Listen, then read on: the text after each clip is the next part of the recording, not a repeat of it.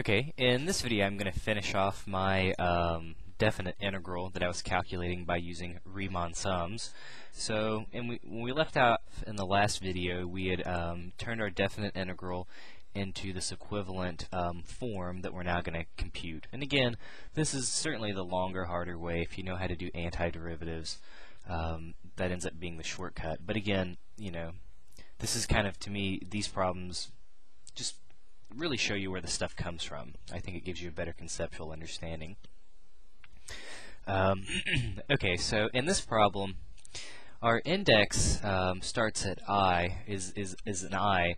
Anything that has an i has to stay to the right of the summation. Well, this 2 over n, usually what I like to do in this case is I just pull it out front. And you, again, you don't have to do this at all. This is my own personal preference.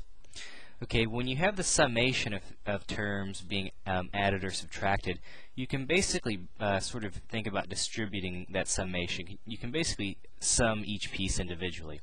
So I'm going to rewrite this as the summation from 1 to n of just 1 plus the summation from i equals 1 to n of 2i over n plus the summation from i equals 1 to n of 4i squared over n squared.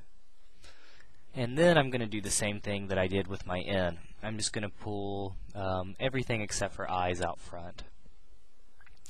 So I'm going to write this limit as n goes to infinity, 2 over n. The first part we'll just leave alone.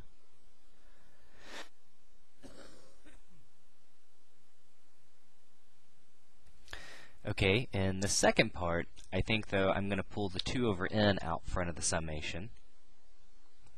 So we still have i equals 1 to n. Notice the part that's being left over is the i. So I'm going to leave the i inside of there. And on the second summation, I'm going to pull the 4 over n squared out front. And then we still have the summation i equals 1 to n of i squared. Okay, so now I'm going to use these two formulas that are, excuse me, these three formulas about the summations that I had shown in the very first video. Okay, so let's see. Let's give myself a little more room here. Okay, so we still have the limit as n goes to infinity, 2 over n Remember, if we sum up from 1 to n, we're summing the number 1 n times, so 1 plus 1 plus 1 plus 1 times, um, we'll have it n times, so we'll just get n times 1, or n. Then I have my 2 over n, but again, we said we can replace the summation from i equals 1 to n with the value n times n plus 1 over 2. Okay, so all of that, um, these are equivalent values, okay? So this is a shortcut for calculating the summation.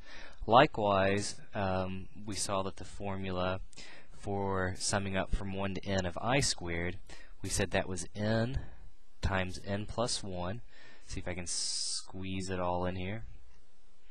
Times 2n plus 1 all over 6. Okay?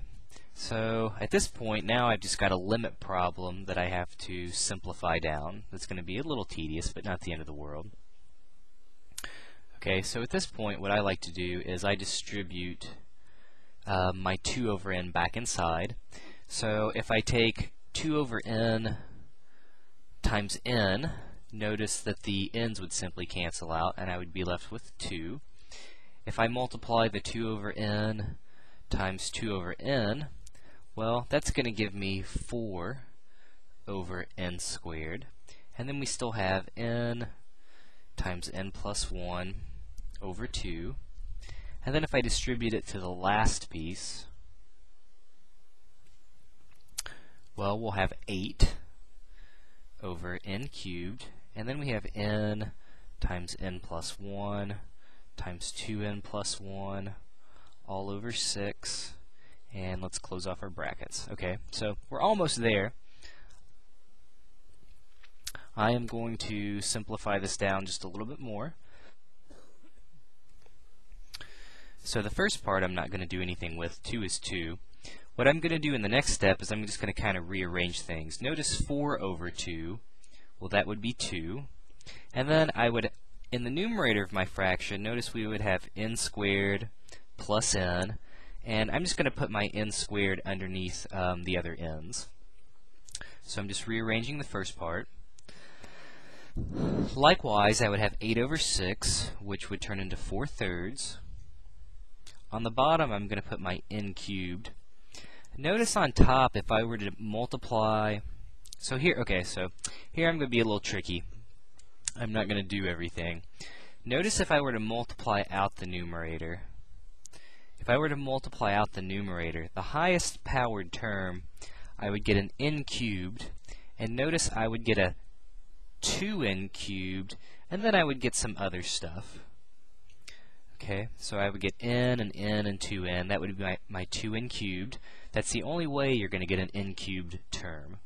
And then you'd get a squared term, a term to the first power, and a constant. But I don't care about those when I'm calculating my limits, so I get lazy right there.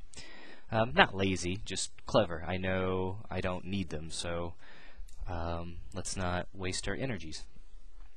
So at this point, when you have limits at infinity, remember the trick is, okay, so the limit of a constant would just be the constant, so the limit as n goes to infinity of 2 is just 2.